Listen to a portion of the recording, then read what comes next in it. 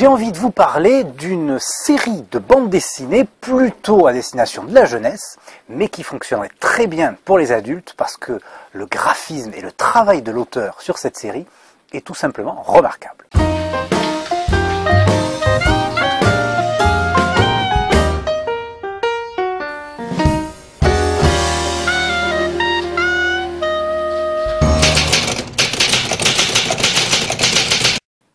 L'auteur s'appelle Alex Alice.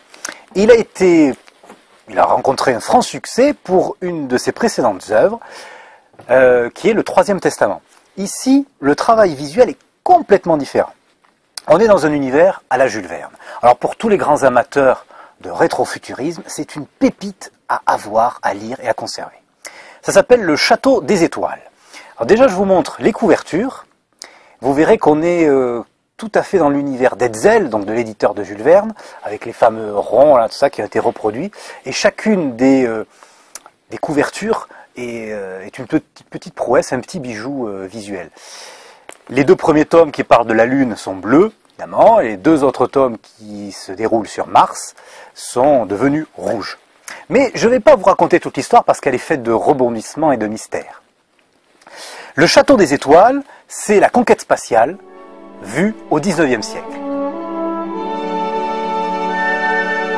Si ces gens-là avaient pu aller dans l'espace, avec quoi ils l'auraient fait? On est en 1870, à la veille de la guerre franco-prussienne, et ça va habiter toute l'histoire. Notre héros est français, on a une Prusse qui est maintenue dans la main de Bismarck, et on a en fait une course aux étoiles qui est transposée non plus entre les États-Unis et la Russie, mais entre la France et l'Empire prussien à ce moment-là. Le héros, le jeune héros de cette histoire, a ses parents qui ont euh, inventé un moteur qui permet justement de traverser les terres et d'aller se rendre sur la Lune et peut-être même plus loin. Alors juste quelques images, quelques illustrations parce que tout est fait à l'aquarelle. Donc Alex Alice a mis beaucoup de temps pour euh, dessiner chacun de ses albums. Pour le moment, il n'y en a que quatre. Vous voyez comme c'est un ton très pastel et c'est surtout ces, ces, travails sur ces, teintes de bleu, de rouge qui sont magnifiques.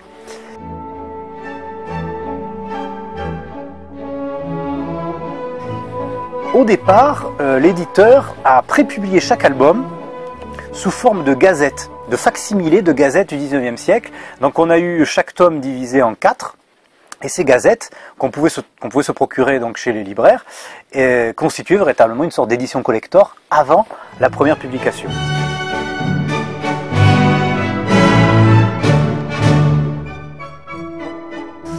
Faut être patient aussi, c'est sûr, parce que quand on tombe là-dedans, là-dedans, on a envie de les lire tous d'un coup. Mais vu le travail et la qualité du travail d'Alex Alice, je pense que la patience euh, est, tout à fait, euh, est tout à fait bonne et nous permet d'avoir un cadeau remarquable. Le Château des Étoiles, c'est le conseil de votre booktube pour aujourd'hui.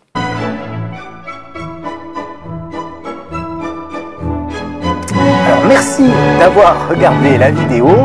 Euh, encore une fois, c'est un endroit, votre chaîne, qui est euh, fait pour être interactif. Donc n'hésitez pas à commenter, n'hésitez pas à vous abonner, n'hésitez pas à nous, donner aussi, vos conseils de lecture. Peut-être qu'on pourrait échanger, en parler également en vidéo.